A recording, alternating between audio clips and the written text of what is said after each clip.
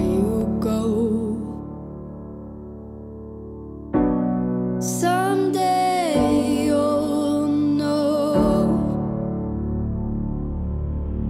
First, distract target. Then block his blind. Counter with cross to. I've been feeling this way for far too long.